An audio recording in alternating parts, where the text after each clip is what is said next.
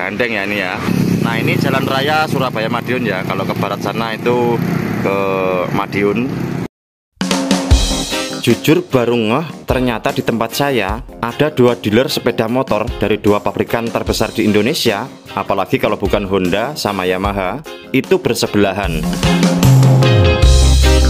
Seperti yang kita tahu rivalitas kedua pabrikan sepeda motor ini sangat tinggi Biasanya, atau yang sering kita jumpai, toko ataupun ruko yang saling berseberangan dan punya rivalitas tinggi seperti Alfamart dengan Indomart.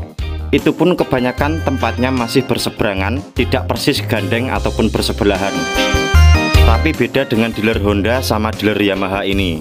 Dua dealer ini saling bersebelahan, bahkan bisa dibilang gandeng. Bergandengan guys. Nah ini satu sahabat eh, mandiri motor.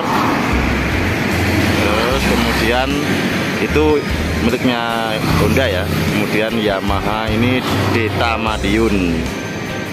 Nah ini lokasinya berada di Dusun Maron Desa Purwosari Kecamatan Wonoasri Kabupaten Madiun atau orang sini lebih familiar dengan daerah Caruban Nah ini jalan raya Surabaya Madiun ya. Kalau ke barat sana itu ke Madiun.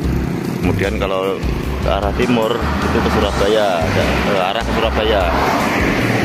Nah ini ya. Kalau untuk dealer Honda ini sudah lama ya.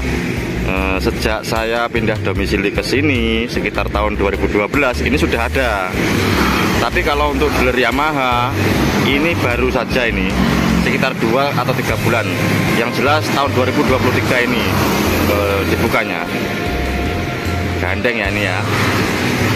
Nah, kalau di tempat kalian gimana guys? Ada nggak dealer Honda sama dealer Yamaha gandeng seperti ini?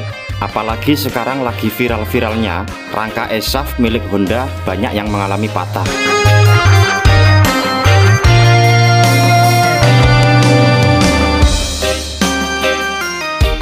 Tanggapanmu soal yang lagi viral. Aku mau nanggapin yang lagi viral. Intinya gini bos. Lu punya uang lu punya kuasa. Lu punya Yamaha luar biasa. Yamaha nih bos. Anti karat anti lipat anti kropos. Anti karat anti kropos.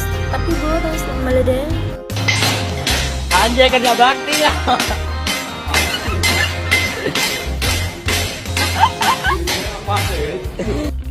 Kalau pendapat kalian gimana tentang dealer Honda sama dealer Yamaha yang saling berdekatan bahkan bisa dibilang gandeng? Tulis pendapat kalian di kolom komentar ya guys.